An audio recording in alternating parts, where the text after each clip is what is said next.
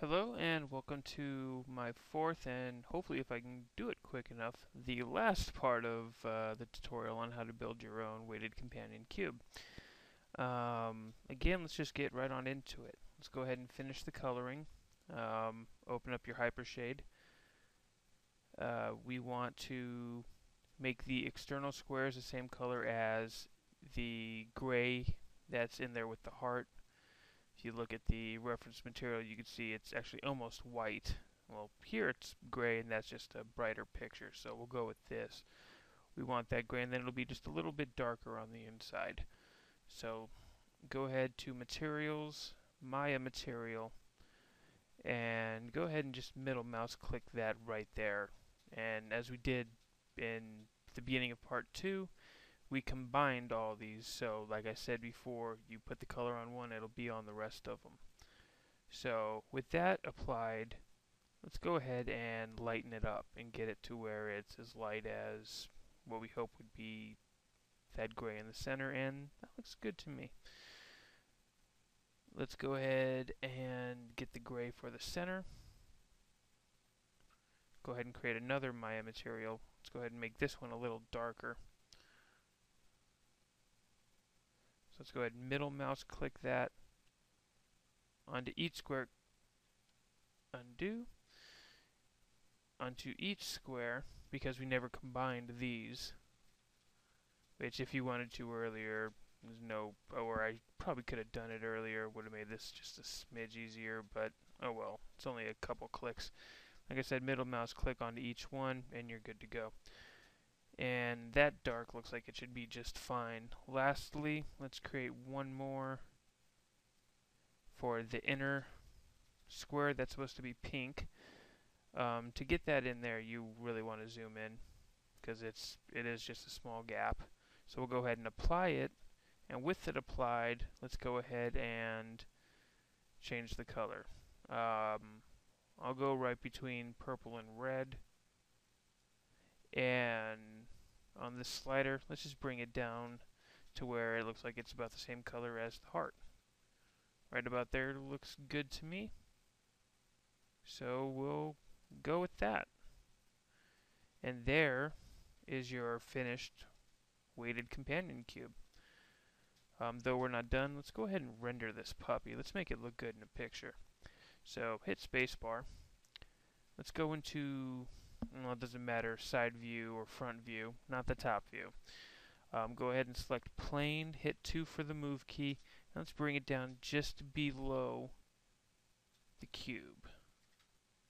Right about there looks fine. Go ahead and hit R to scale it. Bring it out a good ways. Though we're not worried about seeing anything out of in the outer area because we're going to be taking this shot from top down and we're going to have a, a glassy type of reflective material for the plane. So let's go ahead and uh, get the render going. Um, in the rendering tab, uh, go, well, go ahead and click on that. Let's go ahead and create a camera. Yeah, sure, you can take the picture with the perspective, but you know you may always move that around, and you may not always get the same shot. With the camera, you can place it in one spot and forget all about it and just render in that camera and you don't have to worry about it. So go ahead uh, to panels, look through the selected object, which is the camera we just made. Go ahead and zoom out and place the camera wherever you want to place your picture. Well, we're not sure exactly how this is all going to lay out because we haven't even set up how big the resolution of the picture. So up here for the display render settings window, go ahead and click on that. Render using, click on that, go down to mental ray.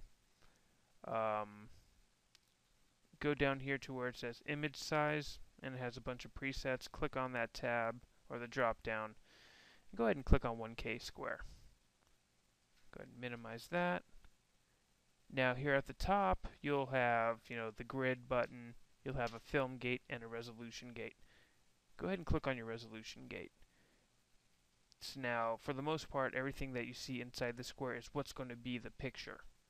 So I know there's going to be a, uh, a reflection of this in the ground, So we don't want to center this because that'll take away from that what we want on the bottom. So I'm just going to set it up just a little bit off center, a little higher. Make it pointing down a little bit. And go back to panels, go to perspective, and go back to perspective. Now, the camera will be chilling there. If it doesn't show right that it's sitting right there, it doesn't mean that it's not there. You may just not have it in, you know, the uh, display show camera. You know, I can click that and, you know, there it is. So now we want to place the lights. Now, before we do that, go back into the rendering settings, scroll all the way down to the bottom of the common tab, render options, drop that down, uncheck enable default light. We want to add our own. We don't want anything else to screw with it. So what we're going to do is add three lights now. A key light, go ahead and click on the spotlight, look through selected, pull out, you see where the camera is, and you want to place this to where the camera will take advantage of, you know, seeing the object. So right above it, looking right down, will be just fine. Go ahead and change the penumbra angle to 15. Now, I'll be honest, um, why? I'm not totally sure. I saw it done in another tutorial, and the thing that was rendered turned out great, and ever since I've used 15 for everything. Do a figure. Um, for that same light, scroll down uh, if you click on, I believe it's mental ray. No, I'm sorry. If you click on shadows, scroll down, you'll come up to ray trace shadow attributes, use ray trace shadows. Go ahead and increase that to about 15, ray depth to about 5.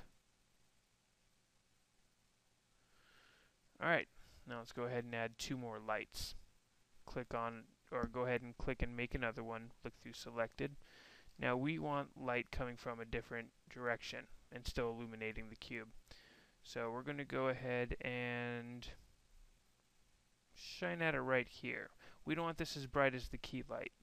So if you go ahead and click on where are you?